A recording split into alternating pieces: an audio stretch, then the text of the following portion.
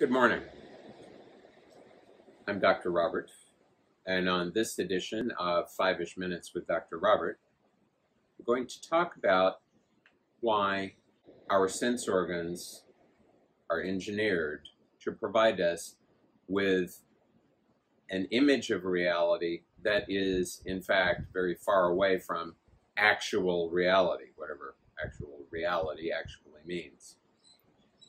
And I'm inspired to do this this morning because I'm speaking to you from the beautiful island of Maui, uh, out in the middle of the Pacific Ocean. I believe you can see behind me the wide Pacific Ocean, which is currently kind of Pacific, uh, which it is not always, of course.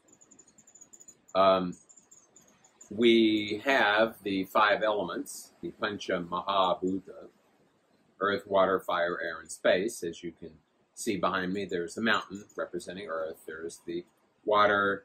There's the sun in the sky, which is representing fire. There's the air gently blowing the palm fronds around. We're in sitting in space. All of these things are constructs to assist us, not just as human beings, but as all living beings, to assist us to interact with the environment in a way that is beneficial to us. And what is beneficial to us is not to be able to perceive the entire environment at all times, which would overwhelm us with data. It's to be able to interpret what is important to us in the environment. Um, the Panchamahabhuta, the five great elements, are the densifications of what are sometimes translated as subtle elements uh, the five tanmatras. The word tanmatra, though, is very pregnant, as it were, with meaning. Tan means that, and matra means a portion. So the tanmatras are portions of reality that have been taken over by our sense organs for the purpose of sampling what's outside so we can have an idea of what's going on.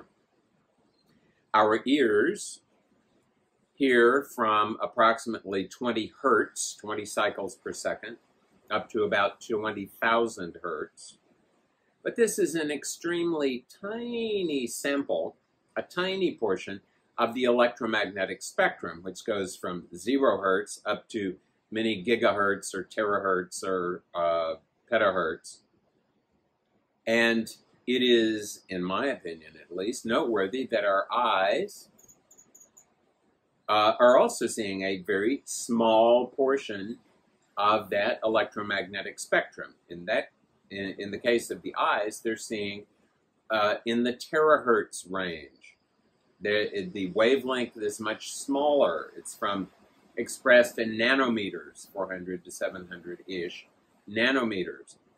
Whereas the waves that we're hearing, 20, a 20 hertz wave, for example, is 15 to 17 meters long.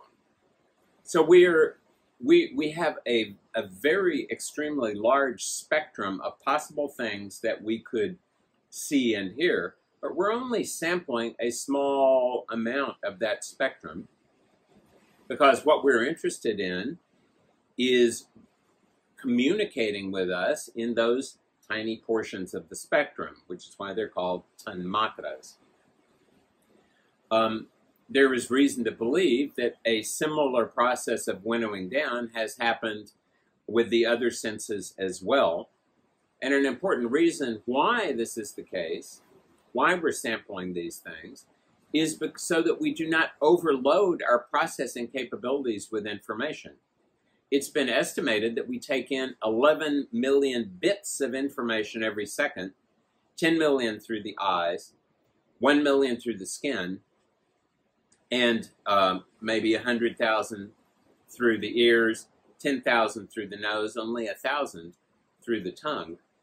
But of that 11 million bits of information we can actually only process about 50 bits per second so it's like the giant JPEG effect of, con- of, of condensing down the information, reducing it so that it still is producing important and useful information in our direction, but only taking representation a representation of what that real reality is.